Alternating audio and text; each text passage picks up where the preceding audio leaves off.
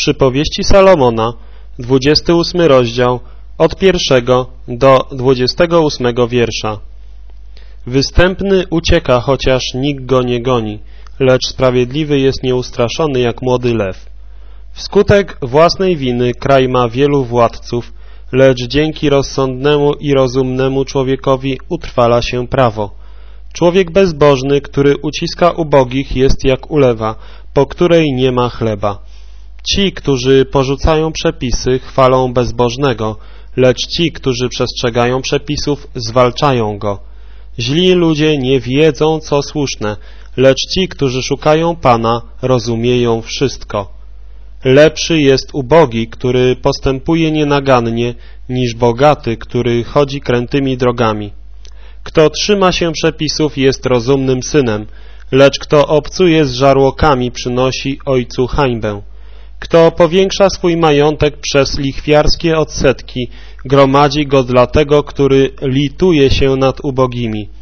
U tego, kto odwraca ucho, aby nie słyszeć nauki, nawet modlitwa jest ohydą.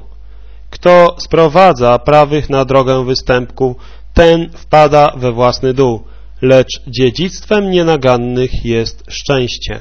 Bogacz wydaje się sobie samemu mądrym, lecz rozumny biedak zdoła go przejrzeć.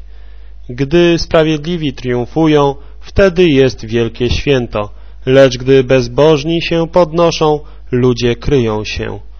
Kto ukrywa występki, nie ma powodzenia, lecz kto je wyznaje i porzuca, dostępuje miłosierdzia. Szczęśliwy jest człowiek, który stale trwa w bojaźni Bożej, lecz kto zatwardza serce, wpada w nieszczęście. Ryczącym lwem i zgłodniałym niedźwiedziem jest bezbożny władca dla ubogiego ludu. Im mniej rozumu ma książę, tym okrutniejszym jest zdziercą, lecz kto nienawidzi wymuszonych datków, długo żyć będzie. Człowiek ścigany za zabójstwo ucieka aż do grobu, niech go nie zatrzymują. Kto postępuje uczciwie, doznaje pomocy. Kto chodzi krętymi ścieżkami, wpada w dół. Kto uprawia swoją rolę, ma chleba pod dostatkiem, lecz kto ugania się za nicościami, cierpi niedostatek.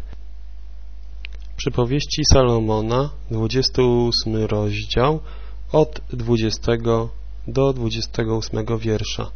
Człowiek spolegliwy ma obfite błogosławieństwo. Kto chce się szybko wzbogacić, nie ujdzie kary.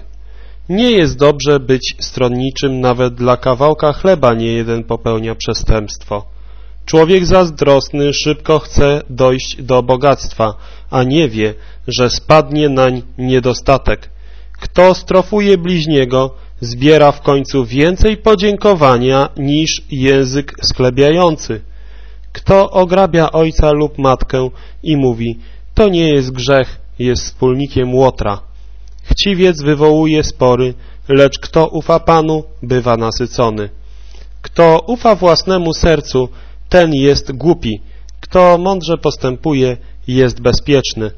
Kto daje ubogiemu, nie zazna braku, lecz kto zasłania swoje oczy, zbiera wiele przekleństw. Gdy grzesznicy są górą, ludzie się kryją, a gdy giną, mnożą się sprawiedliwi.